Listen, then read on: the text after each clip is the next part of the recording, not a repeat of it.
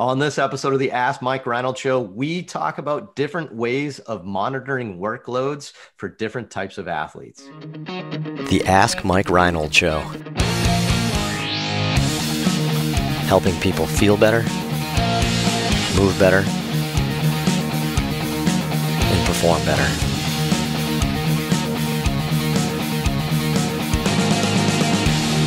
Before we get to the podcast, I wanted to make sure you knew about my free online course on the introduction to performance therapy and training. If you want to learn how to get started optimizing and enhancing performance, this is the course for you. Head to mikereinold.com slash performance to sign up today. Welcome back, everybody, to the latest episode of the Ask Mike Reinold Show. I'm here with my crew of physical therapy and strength and conditioning friends at Champion PT and Performance. Dewesh Podell, oh, ah, Dewesh Podell, Lenny Macrina, Mike Mike Scaduto, Dan Pope, Dave Tilley, Lisa Russell, just going top to bottom on the screen. I'll, I'll reverse it next time, guys. Uh, um, uh, we're, we're, we're here, uh, here answer, answering all your amazing questions. Um, if you have questions, head to mikereinold.com, click on that podcast link, and we are here for you. Anything you guys want to talk about, PT, fitness, sports, career, let's do it. Um, Len, let's uh, let's regroup. Let's get uh, let's get the students uh, introduced here so we can get a great question we we have some a great question for this one, so I'm looking forward to this. Uh, we have three three beautiful students. We have Brendan Gates from Duke University. We have uh, Jonathan Sandberg from Creighton University, and the cardboard cutout of Katie Stone is still in the background. Uh, Katie from UNLV running. Oh, it, it, it moved. She moved. There we go. Katie is alive. Katie Stone from UNLV. She hasn't moved in over a week. That's amazing. She's been standing there for a week. That's crazy. Gates, what do we got? All right, we got Mandy in Ohio. Says in school we talked about workload measurement and monitoring for running and lifting. How do you all like to measure workload in other sports such as soccer, gymnastics, or do you find that monitoring an athlete's response to exercise is sufficient? I like it. Good. Wait, so are we? So is soccer a sport? Do we define that as a just kidding? Jonathan's a big soccer player. Ooh. We like doing that. I love soccer people. Just I like all athletes. Just wanted to throw that out there. But uh, good question. but yeah, you know what? That's a good question, Mandy, because I think I actually think the easiest workload monitoring is probably in, like you said, lifting, right? So in fitness athletes, right? Because man, you you have everything. You have every objective data point. You have sets, you have reps, you have load. You, I mean, you could even have speed, even your rest. I mean, you put your whole training load together. Like it is so easy to monitor work. I should say so easy. It's complicated, right? But it's it's a little bit uh, more straightforward to measure it in in workload. And I, I guess I'll introduce it from a baseball standpoint and then I'd kind of hear what some other people I know. Dave has put a considerable amount of gymnastics work into this here, but in baseball, when we start talking about, let's say, like pitching injuries or hitting injuries, the first thing we do is take a step back and try to like define a little bit. So let's say pitching, right? In pitching, we can manipulate a lot of variables. Again, there's repetitions, but if I just lob the ball versus I throw the ball as hard as I can, is that the same workload metric? Right? So you have to like kind of come up with definitions based on that. So what we did in baseball is we we took what we knew scientifically of stress. So torque essentially is what we use a biomechanical term like from biomechanical studies. We took torque and what's the torque difference in let's say the elbow on the Tommy John ligament been playing light catch or stretching out long toss or throwing weighted balls or doing a bullpen or pitching in a game, right? We actually have enough science now and biomechanical data now that we know that and then we can assign like different workload grades. So look 20 years ago we tried this which is like innings pitched, right? And pitches per game. But again, like if you throw a changeup or a fastball, does that matter, right? There's so many different metrics that we can kind of put into this. But I think the big thing what you do is when you're starting to get into your sport is you start to say like what is the what is the unit of work that matters to your sport.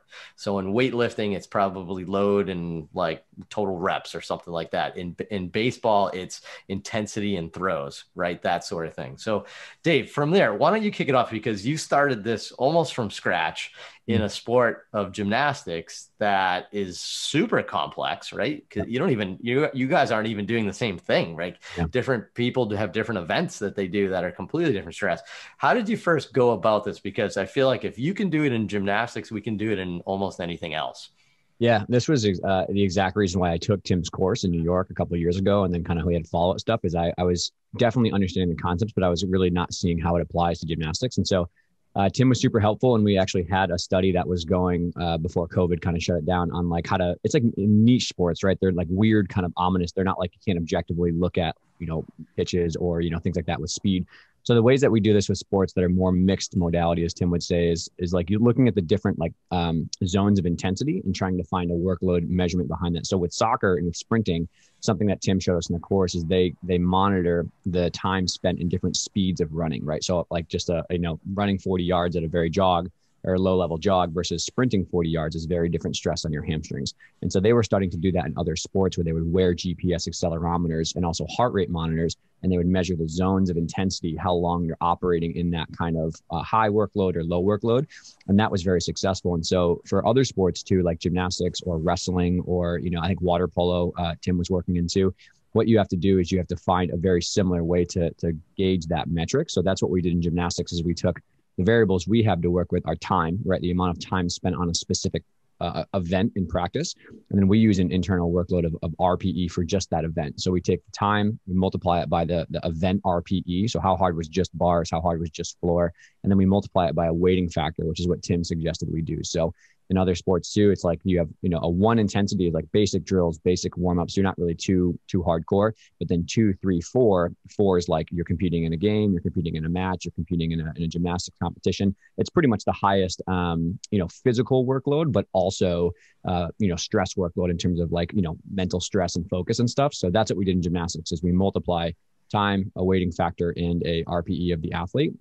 Our coach gives the workload, uh, um, amplifier or the the weighting, and you multiply those together and get a session load. So that's what we've been doing now, and it was really successful. Our pilot study with two um, big Division One schools was really really promising, and it didn't work out. But I think that's where a lot of like wrestling and water polo should go is zones of intensity and weighting factors for how hard that training session, like the skills are in that training session. So to me, I think what you did was you did a great job defining like overall uh, energy system type stuff and uh, overall like fatigue levels, right? What about something specific? What what about um, and I'm not super up on gymnastics, although I'm more than I ever have been thanks to Dave's uh, wisdom next to me all day.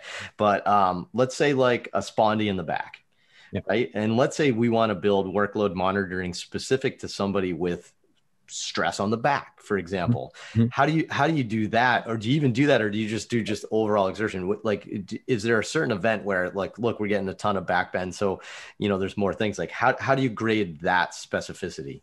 Yeah, this is honestly the work that I took from you guys in the baseball world is replicating return to sport programs for workloads that way. So we measure the three variables in gymnastics are the actual uh, number of skills, right? The force per skill. So doing a very basic, you know, back handspring is very different than like a double back or a full in or a very very high level release skill. So we have that and force per skill, and then we have the surface that they're on too. The the softer foam pits, the tumble track, Lenny's favorite, the hard floor, all have very different forces per impact. So we measure those three variables, and then what we're doing now in some of the more high end complicated stuff is we're doing tibial um, accelerometers and G force uh, load. So we put a tibial strap on someone and it measures bone force at impact. impact.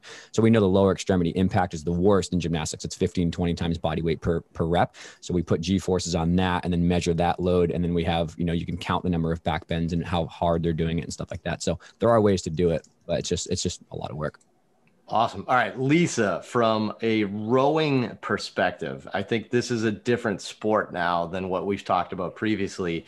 It is it is a I don't want to say long distance like type thing, but it is it's like a it's like a marathon, rowing, biking sorts of things where you're doing one thing repetitively over and over again, which you could argue maybe your intensity level is fairly it isn't that it fluctuates as much it's just for a longer duration of time. How do you do more of this endurance based sport?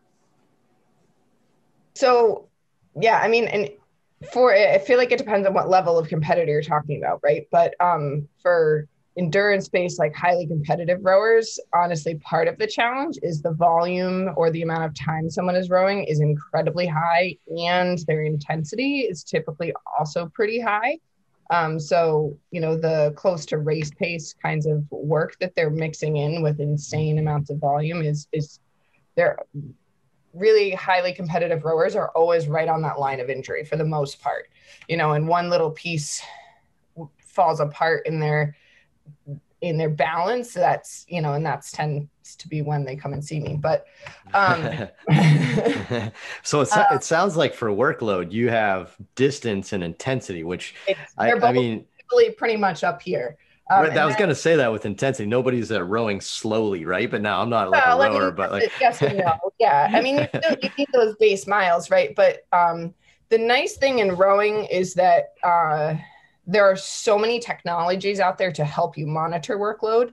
Um, whether uh, most rowers wear heart rate monitor straps to at least track their workout in that way so that they can see what zones they're in at various points. Um, and then using uh, systems like TrainingPeaks or those kinds of things that give you a training stress score for your workout so that you're able to track and it the training peak system is awesome. It, it like graphs everything so that you can see like one week to the next, one month to the next, like all those kinds of things to see what your training volumes do, to see if you're um, increasing too quickly or you know whatever. It kind of it, it, helps you if you use it correctly. It helps you monitor all those things. Um, and you know, but then that's where there's a lot of other factors other than just your personal like body workload because it's an outdoor sport, you know, it like temperature, winds, like all those kinds of things matter, like the heaviness of currents, water, like you know, the, the, current or the like temperature of the water and how heavy it is, you know, and that's where we're starting to talk with a lot of our athletes about like the return to water in March, and you know, that's where it's like, okay, if you've been doing, you know, 70 minutes twice a day on the erg, you can't just throw that onto the water because it's different factors. And you're and that's where like that workload management skill comes in hugely coaches because you're you're changing that environment and you can't just plop the same like athlete workload you know minutes right. of of work over onto the water when there's so many other factors that all of a sudden come into play. Um, so it is it's something that rowing is learning you know and and some honestly some like countries are better at it than others. Um, and and then you know it depends it depends on the level uh, uh, but at the high level like you know a, a, lot of coaches are finally using those tools of TrainingPeaks and different things and using athlete readiness scales in the morning so that you know they at least are staying in con- like keeping it in context of like how their athletes are handling their training plans and not just blanket giving everyone the same number of minutes and the same amount of intensity um, All right, so so for workload monitoring, what I'm hearing from this in an endurance-based sport too is like yeah. you obviously you have distance, you you have intensity, right? I mean, what about pace? Like, so say you don't have access to a heart rate monitor and you're using yeah. somebody, can you manipulate pace? Where you you know you know yeah. what I mean? And like, and you have different right. levels of pace. Um, so so I, that's pretty cool, and I'm I'm sure much of what Lisa said would probably carry over quite well to biking and endurance and stuff yeah, like that. Running and biking, it's all very similar. You know, any yeah. any those just like super endurance sports, like you know, right. heart monitoring comes in pretty big, but then and you know amount of impacts when you're in terms of running or you know whatever it it, it translates pretty well, I would say across. Yeah. Uh, Mike, for for golf, because uh, golf's an interesting sport too because um, you know you usually have a specific injury. So say it's like your elbow, your back, your knee, whatever it may be, right? And we want to manipulate stress on a certain thing, right? I don't think anyone's going to monitor heart rate during golf. We'd be utterly disappointed with what we with what with what we come up with. Same with baseball, by the way. Baseball is quite quite sedentary. You, you you have to sprint 90 feet once every 45 minutes, right? Like that's not it's it's it's very low pacing in there. But for for golf, like how how do you monitor workload progressions of like stress on a body part like because there's so many variables in golf you have so many different like shots and things like that what do you do in golf yeah, absolutely. I think there's, a, you know, as with any other sport, there's a bunch of factors.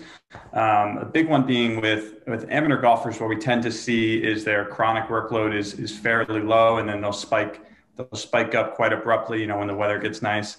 Um, so we tend to see that's when injuries pop up in that population. They just go from taking zero swings to going and hitting 250 golf balls.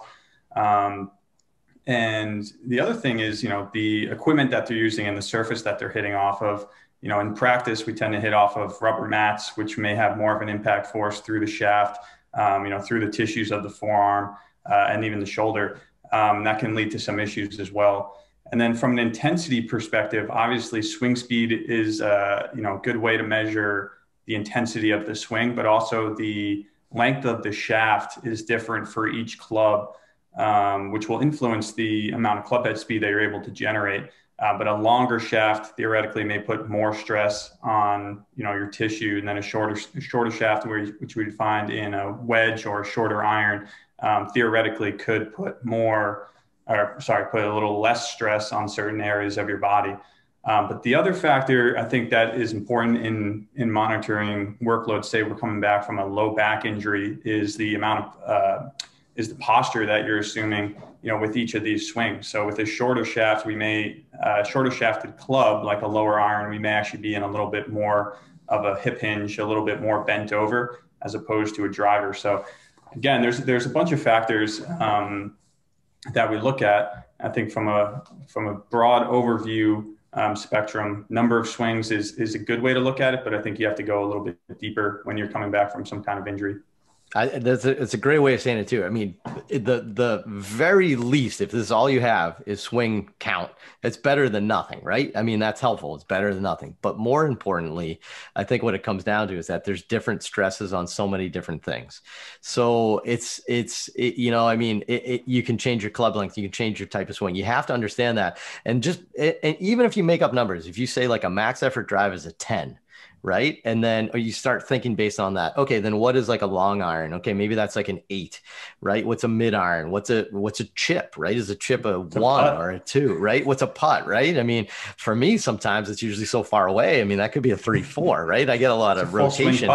I get a lot of rotation with my putt, but you see, you see a little difference here. So, so uh, look, I, I good episode. We could keep going forever on this. I think what we saw was a bunch of different ways to monitor workload. What you need to do is take your activity activity and figure out what is the unit of stress that you want to measure that you want to quantify you want to monitor. And i think that's that's the important part. So we talked about endurance based things where it's it's it's it's more like pace and mileage and time and heart rate obviously. We talked about field sports where heart rate is awesome.